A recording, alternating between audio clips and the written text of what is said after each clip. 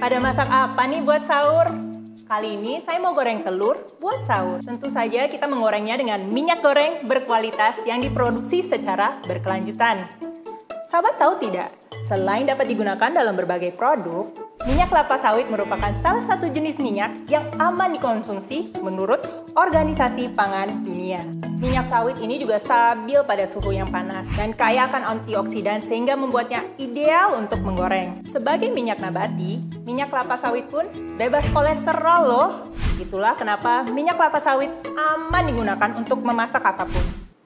Nah, sudah mateng nih. Kita sahur dulu ya.